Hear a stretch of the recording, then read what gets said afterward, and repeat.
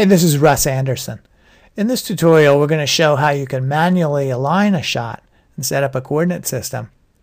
And that's often useful when there's no particular clear-cut coordinate system available to use for a star 3 tracker setup or using the autoplace tool. So typically that's natural scenes like this, where here we have a ravine and some woods.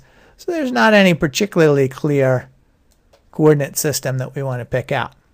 So we're just going to start out doing an auto solve on this and then we'll clean up the trackers a little bit and refine the solve.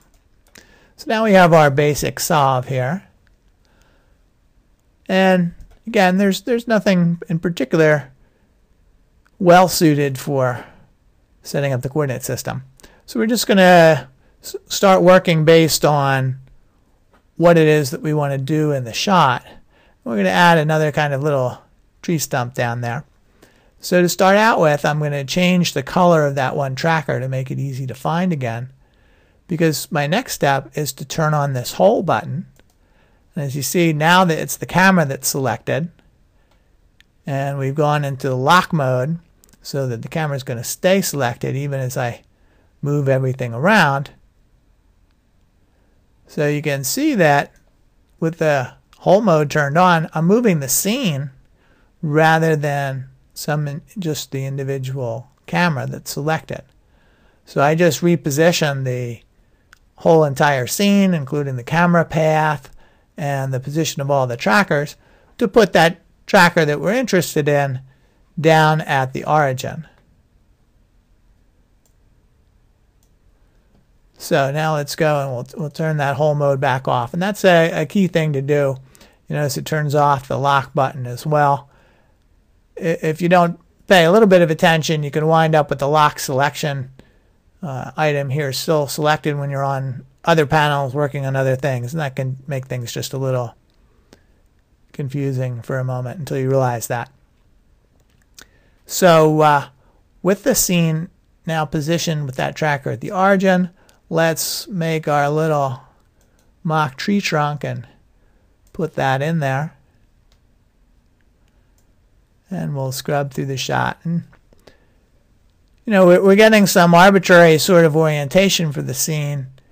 Just it was initially based on the position of the default camera and what the orientation of the scene happened to be at the, the start during the solve.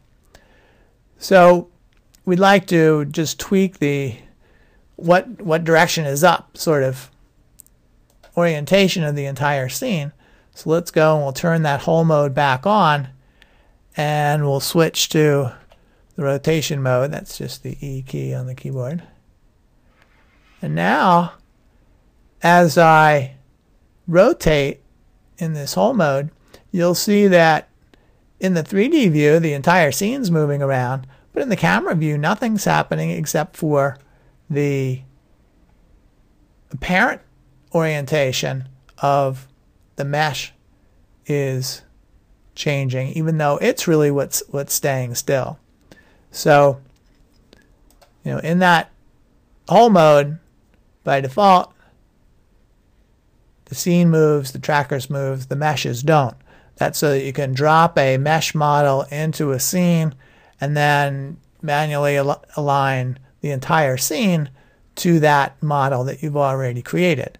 Now, if you decide that you want the meshes to move, there is this whole effects meshes button. And if I hit that, now the entire thing goes. And you'll see in the camera view that really nothing was happening because everything was moving together as a unit.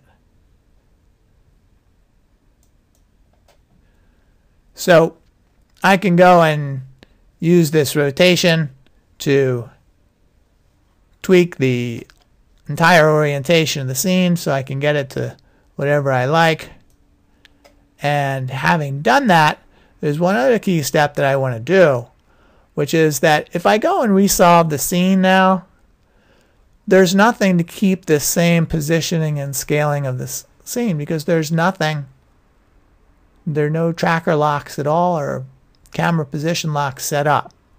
So what I can do instead to make sure that the effort that I spent manually aligning this, you know, sticks around for subsequent solves. And, you know, it might be I notice some tracking problem that I want to fix or add a couple more trackers and, and I might want to resolve it later. And I don't want to mess up the manual alignment that I've already done. So, you know, we do need to turn off the lock selection. We'll go and just pick out a couple of trackers in the environment. And these really ought to be ones that you have some degree of confidence in that are fairly robust. These are going to be the ones that, that keep to their same location. So on the coordinate system panel, I'm going to click the set seed button.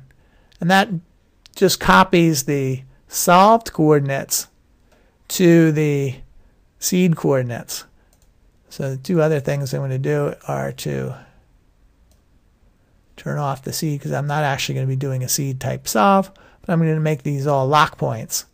So now if you go back and you look at the constrained points view, you'll see each of those four points is locked to the different set of coordinates that it's already at.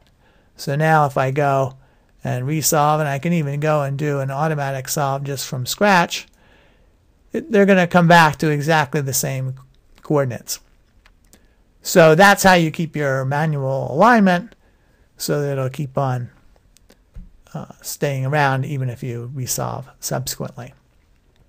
So hopefully this gives you an idea of how you can go and do a manual alignment to get whatever sort of eyeballed alignment that you might want to have and then be able to keep it around for subsequent solves as well.